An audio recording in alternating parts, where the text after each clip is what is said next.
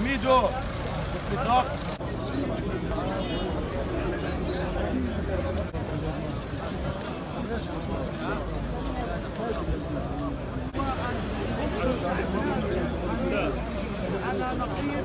كل الناس. اسمع وسمع كل الناس. المحامي ما بينداس. المحامي ما بينداس.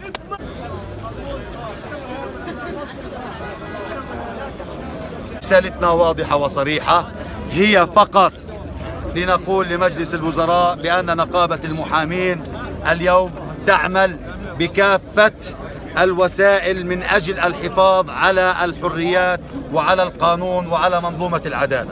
أمامكم. هذا شيء متوقع. هذا هو ما قلناه في بياناتنا السابقة بأن مجلس الوزراء ووزير الداخلية يتعامل بهذه الطريقة. إذا سمحتم.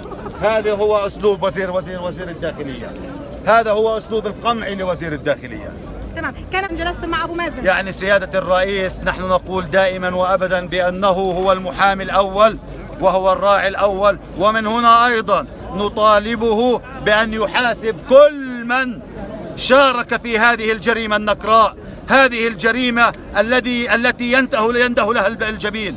نحن نطالب سيادة الرئيس بالتدخل الفوري ومعاقبة الجناه محامين. نقابة المحامين لديها مجلس هو في حالة انعقاد دائم وهي ستقوم بدراسة الأوضاع ونحن في مرحلة الانتقال من مرحلة التصعيد بالإضرابات والوقفات إلى موضوع آخر. سيتم الإعلان عنه فيما بعد وهو إدخال كافة التنظيمات الوطنية واللجنة المركزية وكافة أحرار هذا الوطن من أجل محاسبة هذه الحكومة. السؤال الأخير لو تكرمت سقف مطالبكم هل تم تخفيضه بعد كل ما يجري؟ أنا أقول لك وبكل صراحة بأن النضال النقابي هو نضال مطلبي ومطالب النقابات يجوز لها أن تلامس السماء.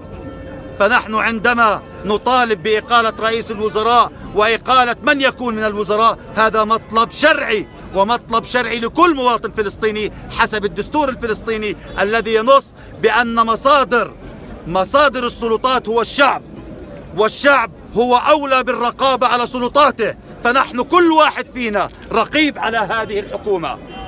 وعليه كل وكل واحد فينا يستطيع أن يحاسب هذه الحكومة وأن يقول لها ارحلي أو لا ترحلي.